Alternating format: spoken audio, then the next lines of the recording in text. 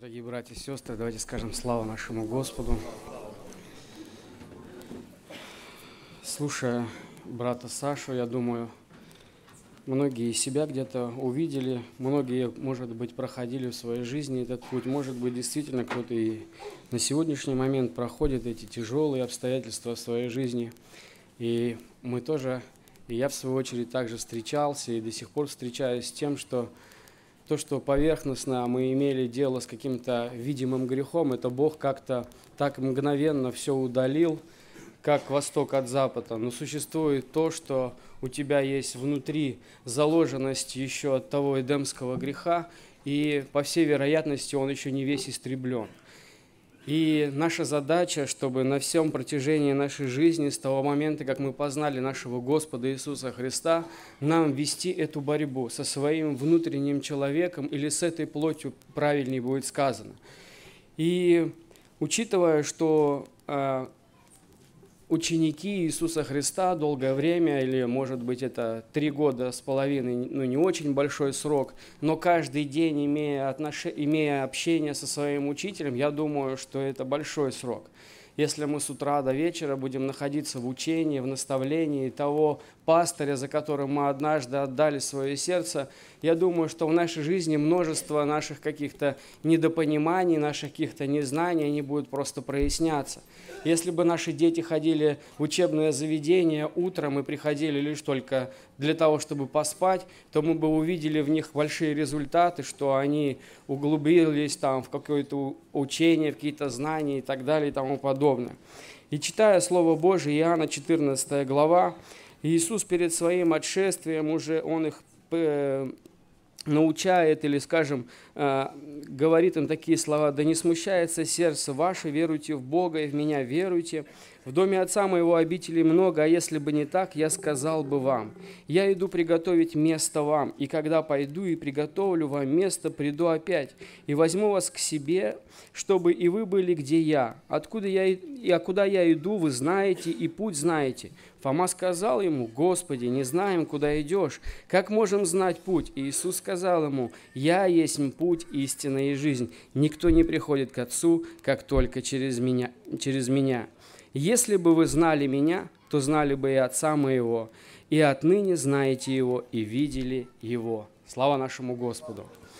И э, видя то, что Иисус показывает о том, чтобы, о том, что если бы вы знали меня, я начал сопоставлять просто то время, когда они познали, когда они согласили и свое сердце выраз... в своем сердце выразили желание идти за Иисусом Христом, проходит какой-то промежуток времени, и Иисус им говорит о том, что если бы вы знали Меня. В нашей жизни бывает, что мы от видимого чего-то освободились, думаем, что мы так хорошо знаем Иисуса Христа, мы можем кого-то научить, кого-то наставить, кому-то подсказать, но в своей жизни разобраться очень часто не всегда можем. И когда приходит к тебе твое понимание о том, что, Господи, а я-то сам Тебя еще и так, ну, скажем, и не знаю – Возьмем апостола Павла, тот, который однажды учился у ног Гамалиила, прошло какое-то время, он настолько был ревностный до своего Бога, шел в этот город для того, чтобы тащить, да, закрывать в темницы мужей, жен там и так далее, и встретился с Иисусом. От этой встречи что-то произошло. Сам апостол Павел, он говорит, я от самого Господа принял то, что и вам передаю – то есть то, познание, это то знание и то познание при встрече с Иисусом изменило его вообще мышление. И мы видим, что Слово Божие говорит, если бы вы знали меня, то знали бы и Отца моего. И насколько важно, чтобы мы, как дети нашего Господа, всемогущего Бога, были, находились всегда в этом учении, понимая то, что мне что-то нужно найти – от того, что однажды, когда в мою жизнь пришло это покаяние, и когда я встретился с моим Господом, я понял, что мне необходимо находиться с Ним. Мне необходимо пребывать в Нем. Мне необходимо познавать Его. Но есть таких два бича, которые для христиан, они очень больные. Это суета, это суета и праздность. Когда мы становимся членами церкви, мы уже успокаиваемся и в своем, ну, может быть, духовном росте мы считаем себя уже чего-то достигшими, что-то мы прошли в своей жизни, как-то мы уже можем отвечать на вопросы, где-то мы уже устоялись, но при всем при этом дьявол находит такие окна или такие двери, через которые он пытается всячески войти. И эти окна и двери – это наша работа. Все согласны? Нам обычно предлагают побольше заработать, побудь подольше на работе, ты заработаешь, ты начинаешь думать, у меня семья, у меня дети, у меня жена, у меня вопросы там жилищные, у меня там передвигаться надо, и мы много-много-много чего можем, ну, скажем, в эту телегу сложить и сказать, у меня вот они мои проблемы, целый воз этих проблем – Другая сторона, когда человек чего-то уже достиг в своей жизни, и он, в принципе, имеет в том, в том, в том, у него все налажено, и он приходит в такое состояние всего довольным всем – приходит состояние праздности, и то время, которое он в своей жизни говорил, «Господи, Ты мне помоги, чтобы у меня было побольше времени, я буду вникать в Слово Твое, я буду изучать, я буду всячески копаться и рыться, но пришло время свободное, я это свободное время потратил на что-то другое». Может быть, ублажить собственные «я», может быть, просмотреть что-то, может быть, увеличить еще свои закрома или там увеличить свои домашние, ну, жилищные условия. И все человеку кажется, что ему чего-то не достает. Но однажды на пятничной молитве я стоял так на коленях и молился, и у меня такие мысли текут. Вот у меня то, то, то, то надо, то надо. И потом это все как-то мгновенно рассеялось, и у меня одна такая ясная мысль что больше всего тебе необходимо иметь или искать общение со мной. И когда человек углубляется в общение с Иисусом Христом, с Богом, то то, что у тебя было первостепенно, оно уходит на второй, на третий, на четвертый и на пятый план. Мы с моим э, братом, другом имели общение, и он говорит, что настолько суета захватила меня, поглотила меня, а настолько работа, работа, и уже от работы, работа не приносила никакого удовольствия. И даже, может быть, получаешь эти деньги, но удовольствия не получаешь, потому что ты рожден по духу, слава нашему Господу. И когда вот это внутри у тебя есть понимание, то тебе срочно надо вырываться – Срочно надо куда-то уходить, отдаляться. И мы видим, что Иисус, Он даже уходил в места пустынные. Другими словами, что это в пустые места. Был одинок, был в одиночестве. Но мы можем сказать, мы отойдем от этого мира для того, чтобы прибыть с братьями и сестрами, больше углубиться в Слово Божие, больше углубиться в молитвы, понимая то, что наш духовный человек страдает при всем при этом. Да благословит нас всех Господь, чтобы мы понимали и взвешивали в своей жизни.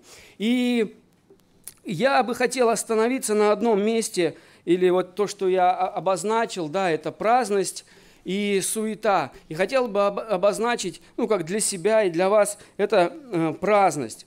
И праздность мы понимаем, что когда уже человек насытился, когда у него уже все устойчиво, все есть, и ты считаешь, что, ну, как в одной притче, помните, написано, был хороший урожай – была житница, он эту житницу разрушил, другую поставил, сказал, сейчас я это все заполню и буду отдыхать. Пусть моя душа наслаждается тем, что у меня есть. Мы встречаем в Священном Писании, был такой Валтасар. Все знаете такого? Это сын царя Вавилонского Ваходоносора. И когда пришло, представляете, 45 лет, Ваходоносор – завоевывал близ окружающие дальние все города, стран, ну, так скажу, страны, да, был очень укрепленный свой город, этот Вавилон. В центре Вавилона, ну, скажем, там начало вообще всего. Там была построена эта Вавилонская башня. И вокруг нее этот был укрепленный, укрепленный сильно город. Высота стен около 100 метров – 50, по-моему, ширина этой стены, что можно было три троицы э, лошадей по этой стене проезжать вокруг. Вы представляете? Запасов на 25 лет. пищевых запасов река Ефрат протекает с севера на юг. То есть постоянно есть э, вода.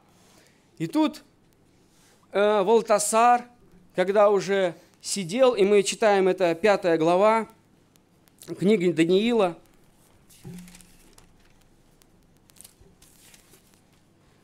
Валтасар, Валтасар, царь, сделал большое пиршество для тысячи вельмож своих, и перед глазами тысяч пил вино. Вкусив вино, Валтасар приказал принести золотые и серебряные сосуды, которые Выходоносор, отец его, вынес из храма Иерусалимского, чтобы пить из них царю, вельможам его, женам его и наложницам его. Тогда принесли золотые сосуды, которые взяты были из э, святилища Дома Божьего в Иерусалиме, и пили из них царь и вельможи его, жены его и наложницы его пили вино и славили богов золотых, серебряных, медных, железных, деревянных и каменных. И вот э, в тот самый час вышли персты руки человеческой и написали против лампады на извести стены э, чертога царского, и царь видел кисть руки, которая писала, Тогда царь изменился в лице своем, мысли его смутили его, связа, э, связи чресл его ослабели, и колени его стали биться одно о другое. И мы видим, что э, Вальта, Валтасар принял от своего отца это царство, то, которое было на тот момент очень, ну скажем, такое большое, да, укрепленное, сильное. Но в тот момент, когда он это совершал пиршество, его город уже был в осаде. И представляете, что для нас это, для духовных людей, те люди, которые желают и стремятся жить по духу, на нас всячески всегда осаждает этот грех, этот мир, пытаясь, чтобы нашего внутреннего человека как-то, ну скажем, а, огорчить, да, или как-то совратить с этого правильного и верного пути. И нам необходимо, чтобы этот источник, как Ефрат, он всегда протекал внутри нас. Чтобы этот источник, Дух Святой, он всегда в нас пребывал. Но и мы понимали то, что те запасы, которые в нас есть, они должны быть всегда еще и пополняться, обогащаться, все больше и больше. Но мы видим, что Вальтасар, он сказал, все, что у меня есть, мне этого достаточно. И река, которая во мне есть, воды там тоже достаточно – но те умные люди были, они взяли и русло реки, перевели в другую сторону, прошли по старому руслу и там захватили этот город. Да поможет нам всем Господь, чтобы и мы правильно оценивали свою жизнь, чтобы то время, которое Бог для тебя и для меня дал благоприятное, чтобы мы в это время проводили его для того, чтобы изучать Священное Писание – изучать нашего и понимать нашего Господа, насколько Он хочет тебе и мне открыться. Мы можем сказать, что мы долгие годы ходим за Богом, но однажды можем и услышать и в свой адрес «Вы не знаете меня».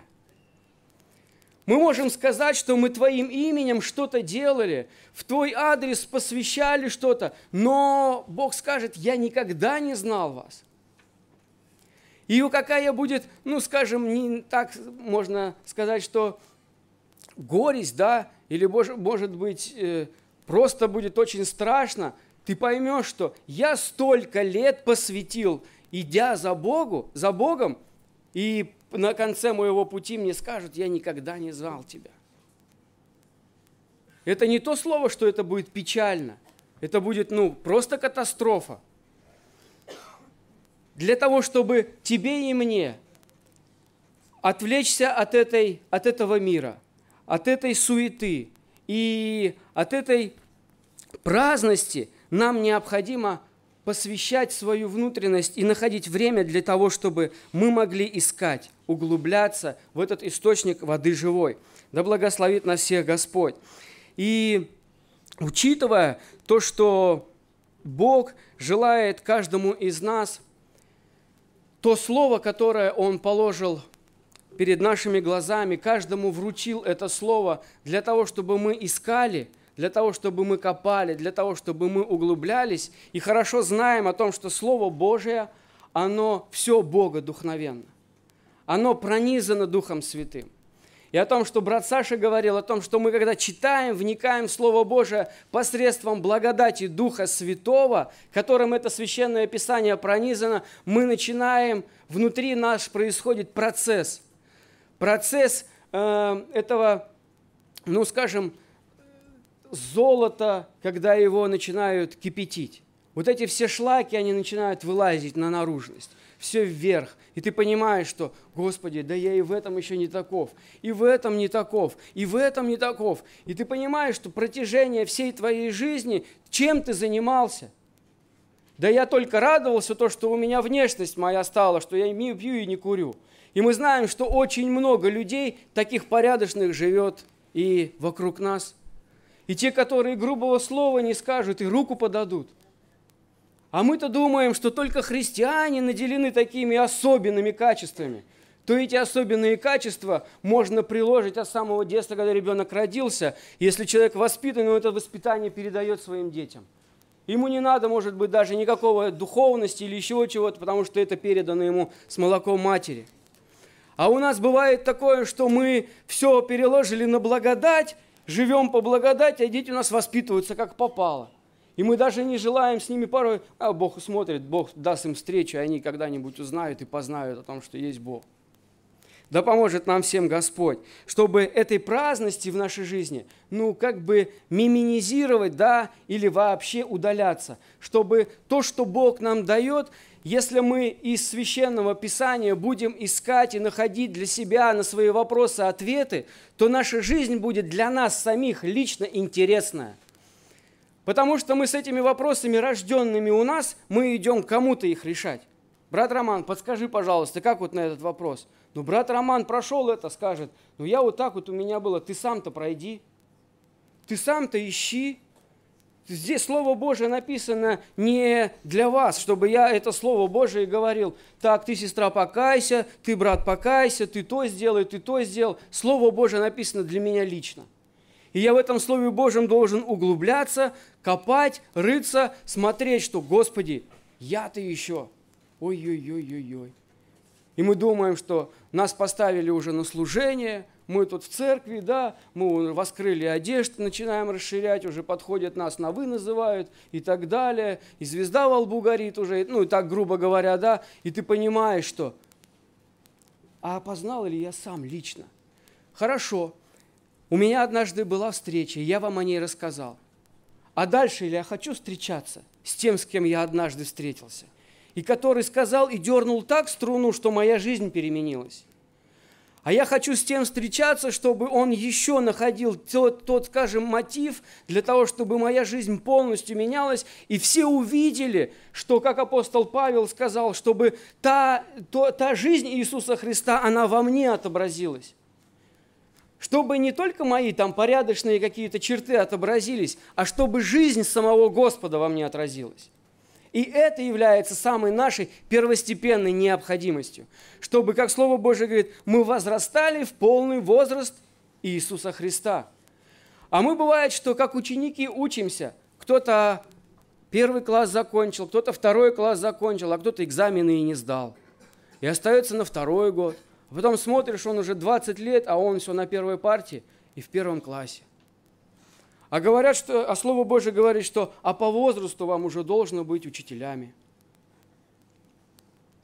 Да поможет нам всем Господь, чтобы мы понимали, чтобы мы отображали прежде всего Э, или точнее свою внутренность настолько прилепили к Слову Божьему, чтобы Слово Божие нас питало, чтобы те источники, которые есть в Слове Божьем, они отображались в нас – чтобы та жизнь, которая есть в Слове Божьем, она отображалась в нас, чтобы мы жили не своим пониманием, не своим мышлением, не своими какими-то ну, знаниями или какими-то добрыми качествами, а то, что нас научил Иисус Христос. Слава нашему Господу. И мы видим, что Он не оставил нас, не оставил нас одинокими.